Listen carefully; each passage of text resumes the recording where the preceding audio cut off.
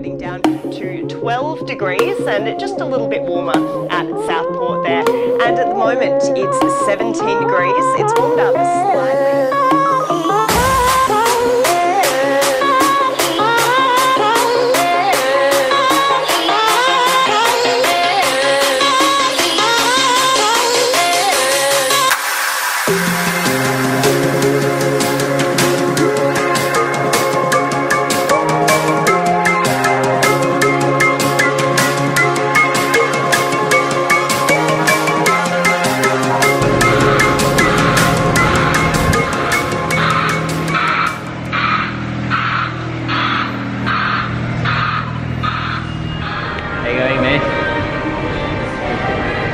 Getting there slowly.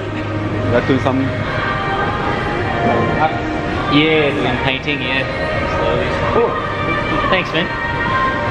So at the moment, I am at Australia Fair on the Gold Coast, working on an artwork for City of Gold Coast. And just to briefly explain what this artwork is about and why they've actually hired me to do it, this is an aerial view of the Gold Coast in Southport, and I've been asking locals of Southport what they want to actually see in Southport, what they want the council to do, adding those elements into the artwork.